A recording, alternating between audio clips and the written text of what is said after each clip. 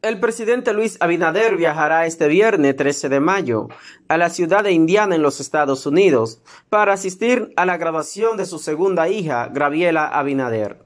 La familia presidencial tiene como tradición estar juntos en los momentos importantes, por lo que para la ocasión se trasladará a la metrópolis con el resto de sus hijas y esposa.